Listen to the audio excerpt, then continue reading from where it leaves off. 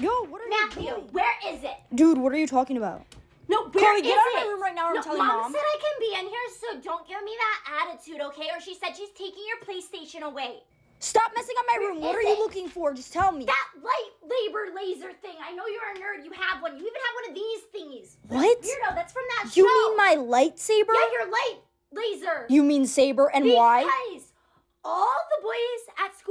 school are raving because Jessica has one, and I need it because I stole yours last time, and they thought it was the coolest thing. What do you mean you stole yeah, I stole it. Big deal. Haha. Get your hands No, off of it. They told me I put on the blade wrong last time, so I need you to show me how to use this thing so they think I'm a pro. No, I'm not doing that. Sick.